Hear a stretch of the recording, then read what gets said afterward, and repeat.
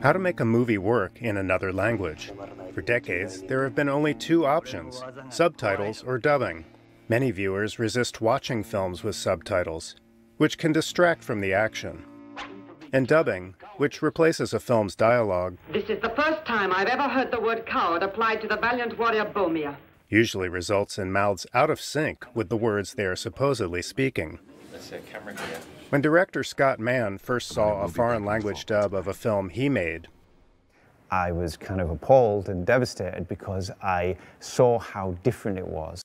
This got him thinking that there might be a technological solution.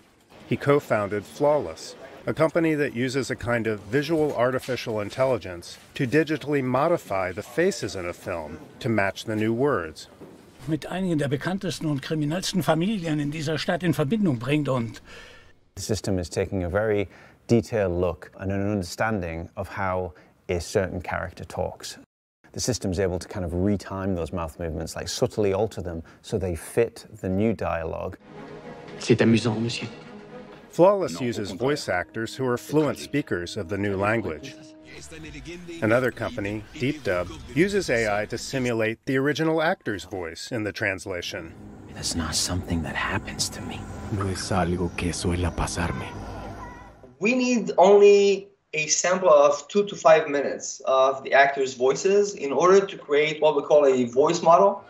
The new technologies promise to accelerate a growing appetite for content across language borders.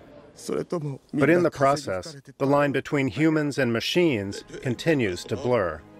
Matt Dibble for VOA News, San Francisco.